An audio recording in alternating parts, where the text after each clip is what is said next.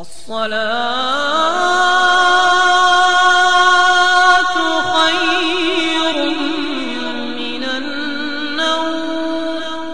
اعوذ باللہ من الشیطان الرجیم، بسم اللہ الرحمن الرحیم۔ زیاوی چینل کے معزز دوستو، السلام علیکم۔ دوستو، آج کی یہ ویڈیو ہم تمام کے لیے ایک سبق ہے اور خاص کر ان لوگوں کے لیے ایک سبق ہے جو ذرا سی دقت اور پریشانی ہونے پر نماز کو چھوڑ دیتے ہیں۔ دوستو، آپ جو یہ ویڈیو دیکھ رہے ہیں، آپ اس ویڈیو میں دیکھ سکتے ہیں کہ دو مسلمان بھائی جو بازار میں سڑک پر ایک سائیڈ میں کھڑے ہو کر نماز پڑھ رہے ہیں اور انہی کے پاس کچھ لڑکے اور لڑکیاں مستی کر رہے ہیں اور باتیں کر رہے ہیں۔ لیکن یہ دونوں مسلم بھائی نماز پڑھ رہے ہیں۔ دوستو، ایسی جگہ پر جہاں ہر طرف حیوانیت ہے اور لوگ مستی میں چور ہیں۔ ایسی جگہ پر نماز پڑھنا یقیناً یہ ایک بہت ہی بڑا عمل ہے۔ لیکن اب ہم ذرا اپنے اوپر غور کریں کہ ہم کتنے پکے نمازی ہیں۔ کیا جب ہم سفر میں جاتے ہیں، ہم نماز پڑھتے ہیں یا نہیں؟ اور اللہ کی عبادت کرتے ہیں یا نہیں؟ اور ہم اللہ کے کتنے احکام کو مانتے دوستو، نماز اللہ تبارک و تعالیٰ کا عطا کرتا وہ حسین تحفہ ہے،